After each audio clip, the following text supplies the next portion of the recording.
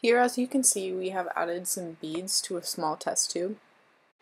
After adding the beads to the test tube, we will add one drop of each Kaiser test solution, and we will start with adding one drop of Kaiser test solution 1. Then we will add one drop of Kaiser test solution 2, and then finally we add one drop of our Kaiser test solution 3.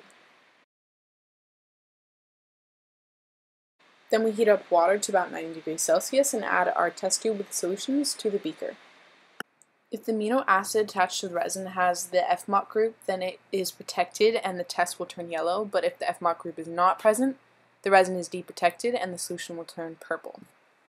A pink intermediate result occurs when the resin is coupled but still partially deprotected.